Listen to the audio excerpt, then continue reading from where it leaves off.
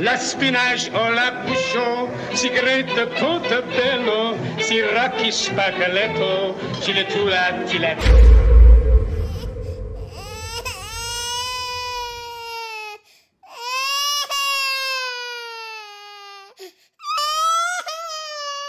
Seorang anak lahir pada suatu hari saat orang-orang sibuk menyusun kembali kematiannya lagi. Ia lahir ditimbang oleh krisis ekonomi di dunia ini. Ia menyambut kehidupan dengan isak tangis seakan tahu bahwa basah lebih mendominasi di muka bumi. Ia lahir dengan begitu tenang, masih telanjang ia menghanyutkan dirinya ke sungai-sungai dalam mimpi seakan dirinya lah bentuk dari kemenangan itu sendiri.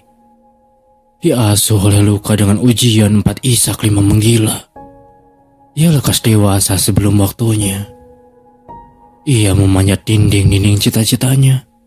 Mencari waktu. Berlarian bersama letih dan kisah haru.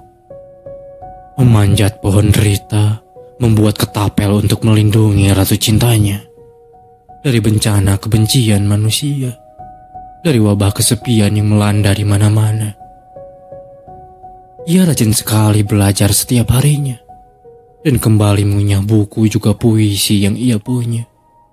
Sebelum memutuskan benar hendak menjadi penyair atau sedagar kaya, sebelum akhirnya ia menjadi rinci dan habis juga. Andai usiaku bisa berubah katanya sambil merobek buku sejarahnya hari ini akan kuajak bicara semua pujangga di seluruh dunia hingga habis semua luka di hati. Lalu jadilah aku sesuatu yang kekal di dalamnya abadi. Berbahagialah ketika aku pergi. Ia sudah dewasa pada saat ini. Berharap selalu penuh, utuh, dan seorang gadis jadi pelengkap rusuknya untuk hidup dan menyeluruh.